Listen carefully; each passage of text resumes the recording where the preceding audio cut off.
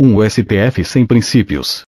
Na capa de processos judiciais é comum ver a anotação com destaque imenso, urgente, réu preso. É a representação física da prioridade legal que tem acusados que se encontram presos à tramitação de seus processos. Igual se dá pela idade superior a 60 anos.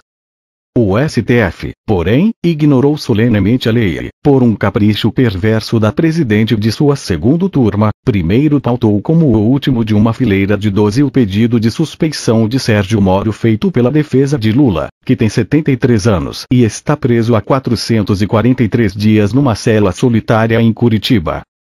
Quem argumenta que seria prudente adiar até que se esclarecessem as eventuais dúvidas de que poderia haver adulteração nas trocas de mensagens entre Sérgio Moro e Deltan Dallagnol que levam à evidência de que houve, com caso que levou Lula à prisão, promiscuidade entre o magistrado e acusadores pretende que se ignora que há um homem velho, sujeito às fatalidades do tempo, sendo sacrificado em nome desta prudência não se sabe de que. Mas qual a alternativa? Anular de imediato o processo. O STF tinha caminhos, estes sim prudentes, que poderia trilhar. Admitamos, apenas para raciocinar, que os fatos públicos e notórios não bastem para concluir definitivamente, como parece óbvio, para a suspeição de Sérgio Moro. Isso não seria obstáculo intransponível, não, nem mesmo é preciso concordar, já, com a anulação do processo, podendo-se aguardar o avanço das revelações e a inteireza dos atos viciados que o integraram. Também não é preciso revogar a decisão, absurda, de que poderá haver prisão antes do trânsito em julgado se há sentença condenatória de segunda instância.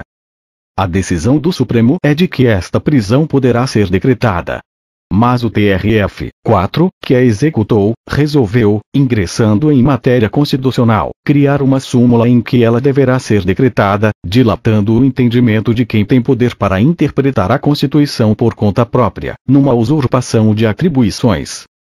Bastaria conceder, na sessão de julgamento, mesmo suspendendo-o, habeas corpus de ofício segundo sua própria decisão, por não se terem demonstrado razões para que o poder, poderá, de antecipar a execução da pena fosse exercido.